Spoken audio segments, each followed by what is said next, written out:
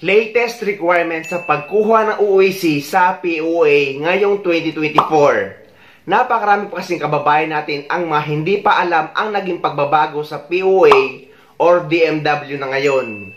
At karamihan din nagko-comment or nagtatanong kung kailangan pa din daw ba ng insurance para sa pagkuha ng UAC.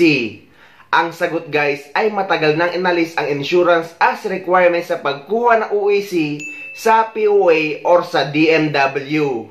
At kahit nga yung SORNY statement para sa mga galing sa visit visa na naging employment visa sa ibang bansa ay hindi na rin hinahanap sa mga POA branches. At about naman sa proof of employment or certificate of employment ay hindi na din madalas hinahanap kapag kukuha kayo ng UEC sa POA. Kahit nakalagay pa rin ang mga yan sa list of requirements kapag nag-secure kayo ng appointment. Tatlong mahalagang dokumento na lang ang kailangan niyong dalhin kapag kukuha kayo ng UEC sa opisina ng DMW or ng Department of Migrant Workers. Number 1, ang inyong valid passport, original at photocopy. Number 2, ang inyong valid visa. Number 3, ang inyong kontrata na verified sa polo sa ibang bansa. So yan lang guys ang mga requirements kapag kukuha kayo ngayon ng UEC sa mismong opisina ng POA or ng DMW. Dati na rin itong sinabi ng taga DMW noon. Doon naman po sa mga dati hindi dokumentado o kaya ay babalik sa uh, pagiging OFW subalit may iba na po silang mga trabaho o iba na silang mga amo, meron po tayong kaunting uh, prosesong pagdaraanan ito po ay pupunta kayo sa pinakamalapit na opisina ng Department of Migrant Workers. I-update po yung inyong online account.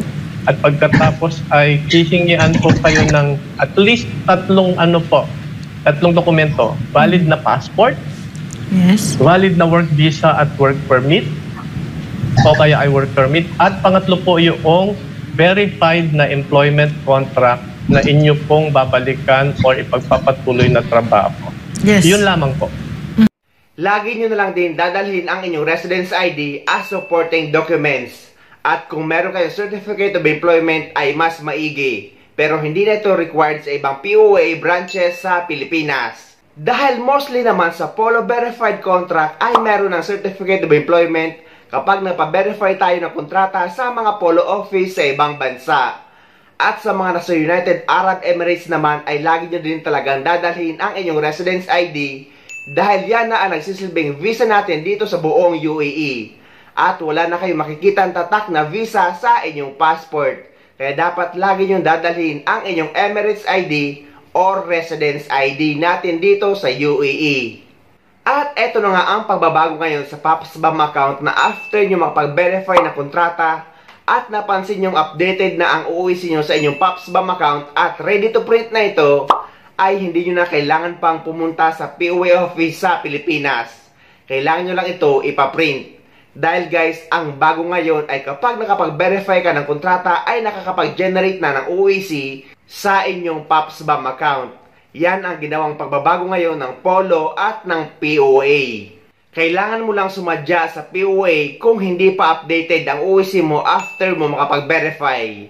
Dahil sad to say guys, may mga ilang OFW pa rin na kahit nakapag-verify na sila, ay hindi pa rin updated ang kanilang OEC.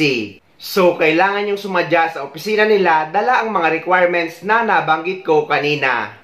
Sino-sino pala ang mga OFW na kailangan magpa-verify ng kontrata para makakuha ng updated OEC sa POA? Actually, lagi ko na itong nababanggit sa mga videos ko. So, ito guys. Number 1. Yung mga OFW na galing sa visit visa na naging employment visa sa ibang bansa. Number 2. Yung mga OFW na nag-change employer or lumipat ng kumpanya. Number 3. Yung mga OFW na nag-change job site. Number 4 yung mga OFW na nag-change ng company name kahit pareho pa rin ang owner. Number 5. Yung mga OFW na nag-change position. Number 6. Yung mga babaeng OFW na nag-change ng marital status from single to married na napalitan ang apelyido sa passport, visa at kontrata. Kailangan nyo guys magpa-verify ng panibagong kontrata sa Polo Office para ma-update ang employment information nyo sa Polo at sa POA at para makakuha din kayo ng updated OEC.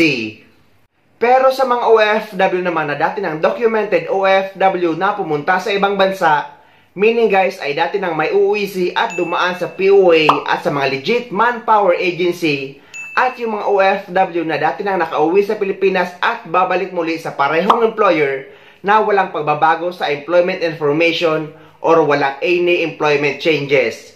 Hindi na kayo required magpa-verify ng panibagong kontrata dahil pwede na kayo mag-acquire ng OEC exemption nyo sa inyong POPSBAM account.